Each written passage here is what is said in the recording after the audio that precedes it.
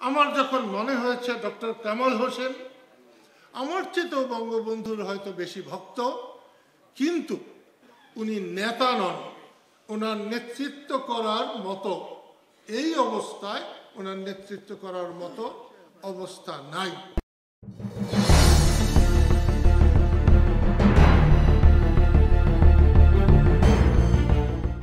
আমি যাকে সম্মান করি তাকে গালি দিতে পারি না।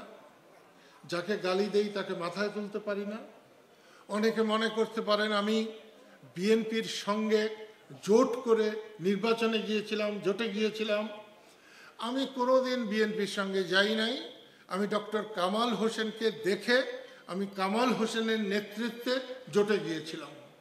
আমার যখন মনে হয়েছে ডক্টর কামাল হোসেন, আমার চেয়েতেও বঙ্গবন্ধুর হয়তো বেশি ভক্ত, কিন্তু উনি নেতা নন। ওনার নেতৃত্ব করার মতো।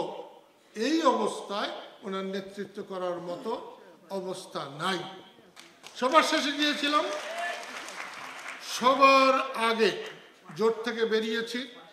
নিশ্চয়ই আমি মনে করি আমার জীবনের শ্রেষ্ঠ ভুল। ডক্টর কামাল হোসেনের নেতৃত্বে জোটে যোগদান করা।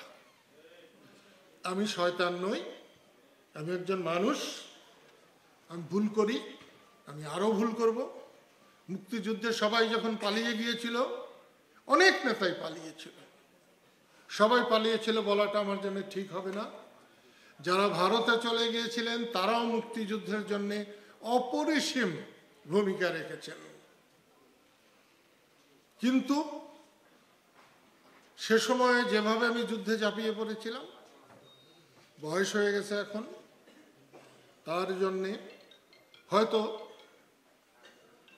তেমন করতে পারব না, কিন্তু কারোর কাছে মাথা বাগিয়ে দেব না। আমি সত্যি একটা কথা বলতেই চাই, বাংলাদেশ যতদিন থাকবে মুক্তিযুদ্ধের চেতনায় বাংলাদেশকে চলতে হবে। সেটা যেই চালান না কেন, সেখানে নতুন করে মেরামত করার কিছু নাই। মেরামত করে আমাদের আবার পাকিস্তানি হওয়ারও কিছু নাই। আমরা যতদিন বেঁচে থাকব, বাংলাদেশ যতদিন বেঁচে থাকবে মুক্তি যুদ্ধের চেতনায় বাংলাদেশ বেঁচে থাকবে।